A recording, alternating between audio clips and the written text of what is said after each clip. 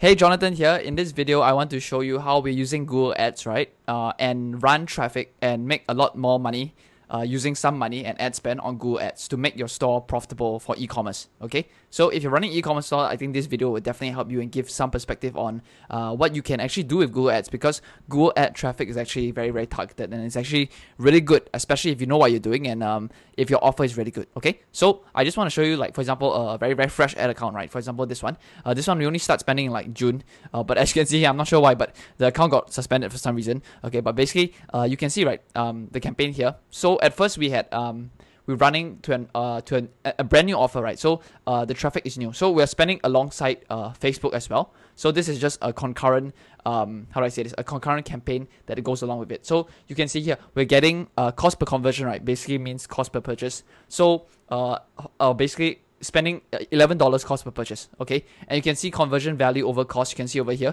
this is basically the ROAS okay the same thing as ROAS the ROI or whatever you want to call it okay and then um, basically I'm going to show you the exact strategy uh, that we're going to use as well but basically you can see it's a 9 times ROAS on the first campaign and then there's uh you can see 29 times ROAS afterwards as well. Okay, to be fair, uh, we're not spending a lot of money. Here we're only spending like a total like 3.7k uh, so far, and then um, the, the account got had, had a problem, like got shut down and stuff. But I just want to show you the like exact method that you can use as well, so you can get similar results for yourself. Okay, so um, yeah, I mean, you can see here, we're only running Google search at this moment in time. We haven't even run uh, Google shopping, uh, but it's that's something you can do as well for yourself, okay? So let me just break it down for you so you know uh, what I'm talking about. I uh, created some slides for you, okay? So um, Google Ads case study, right? You can see here, overall, uh, the ROAS is like 10. It's like 10, which is crazy because you will never get these type of numbers uh, on Facebook. But fair, fair enough, right? Like on Facebook, you also can, you can scale very, very fast, very hard uh, because um, Google traffic is based on search traffic. So you cannot scale harder than normal as well, if that makes sense.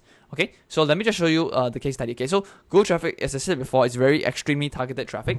And basically, when you're running Facebook and uh, Google, right, Google is generally much more stable than Facebook. That's kind of why uh, I like Google. But you cannot um, scale very far on cold traffic because um, Facebook is interruption based marketing, and whereas Google is like people are searching for it. So you can't force people to search more of your term of your product basically. And so yeah, you, you can't just get uh, more sales if, if you wanted to, right? So I can show you here. So the strategy is um, at first, right? For example, if you're spending like a thousand dollars on on uh, per day on Facebook already, or you are at least selling something on Facebook, this is a very very fast strategy you can do. You actually can start off with uh, Google search and Google Shopping first, uh, and then transition over as well. But um, I think that'll be a bit slower. If you're actually spending on Facebook already and then you transition to, to Google uh, alongside it, is actually uh, the results are much faster because there's a lot of data on your pixel already. And so uh, Google's AI will optimize much faster, right? It goes much faster uh, to conversions, okay? If that makes sense.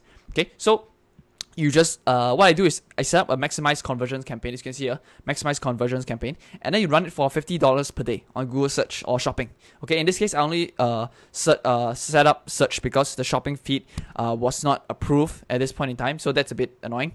Uh, then afterwards, the product page side, right? Uh, we use the optimized product page layout that we use in our coaching program. So the the pain points, the benefits, and the social proof that one. So if you're in the coaching program, you know what I'm talking about. Okay, so um, after seven days or so, uh, what you need to do is go into your negative keywords, okay? So you go into uh negative, you go into keywords and then go negative keywords, and you go and eliminate the keywords that are not relevant uh, to your business. Okay, that's number one. Number two, then you go and search the search terms, choose the search terms that are relevant to your business. So for example, if you are uh, selling this water bottle, right, this water bottle, and then you see that the search term comes up perfume, right, you will cancel those terms and also only choose uh, the search terms that are like related to water bottle. If that makes sense. Okay. Then for number three, uh, you take note of the keywords that are actually getting conversions for you okay? And then uh, yeah that's basically it. So this is after seven days or so because uh, google they optimize much slower than facebook. So facebook is probably around a three to four full day uh yeah full day conversion cycle and then you can see the data. But then uh, for google it's a much much slower game. And so um, yeah you just need a uh, longer time to analyze the data okay?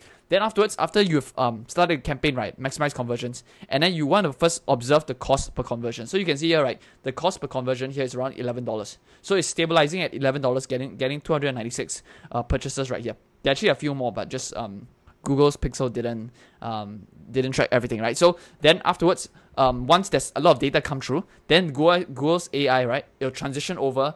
Uh, we can go to target CPA. So we change the bid strategy from maximize conversions to target CPA. And once once that happens, right, then um, Google's AI is very very stable, especially on scale. Yeah. So uh, I, I like that about about about Google lah. Okay. So just to visualize for you, you go, you take maximize conversions first. Once you get about 100 conversions or so, you can see here they're like 296, right? So it's, it's more than enough to get some get the ball rolling. Then you transition, you kind of like turn off this maximize conversions campaign, and then you change it to target CPA. So I changed it to target CPA, and as you can see, right, the target CPA like dropped.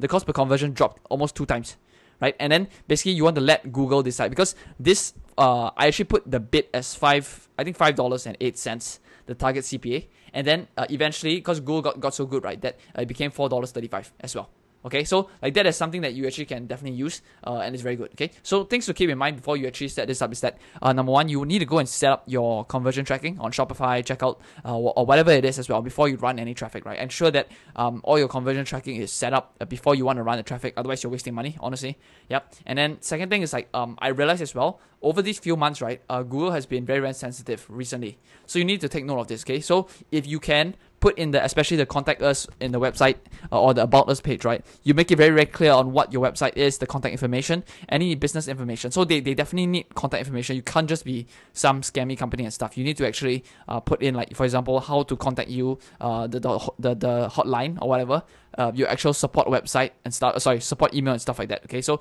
you need to be very transparent with this. Otherwise google will like flag your account in a sense okay? And then last thing um, okay it's actually hard to get your google shopping feed uh, approved by Google nowadays if you are a new account because they are very uh, sensitive to new sellers on the platform because everybody's jumping into Google Ads and stuff, right? So um, this will usually actually take three to four business days. If, for example, if, if you had a problem with your feed, okay, so before you even submit your Google Shopping feed in the first time, uh, then you definitely want to um, push out and actually uh, make sure that all of your contact information that, that is put on here is actually on your website first. Okay, hopefully that, that makes sense to you. Okay, yep. So um, the numbers are very very good on Google. As you can see here, overall, it's like a 10 times ROAS, uh, which is honestly insane. Uh. Yep. Okay. So uh, 3,000 spent and over like 30,000 brought in as well. Okay. Hopefully this very short video is uh, useful for you for this seven minutes or so. Uh, yep. And hopefully you can uh, implement this into your store as well. Okay. Thanks so much. I'll see you in the next one.